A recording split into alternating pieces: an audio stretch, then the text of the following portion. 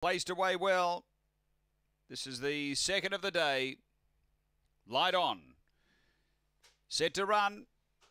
Ready to race here. On their way.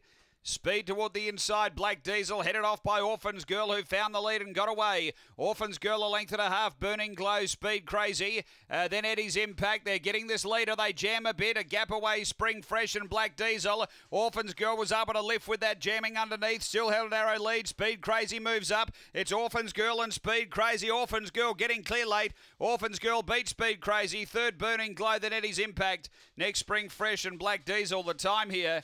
It's around 23 seconds after race number two. And, uh, was under siege mid race. Orphan's Girl. A lot of jamming happening, but uh, when it did, she was able to keep kicking back near the inside. Go through, be the lead again. It has been too good. Numbers are eight, five second. Uh, third is number one, Burning Glow. And fourth home, in fact, uh, just get those checked. Uh, the numbers after race number two.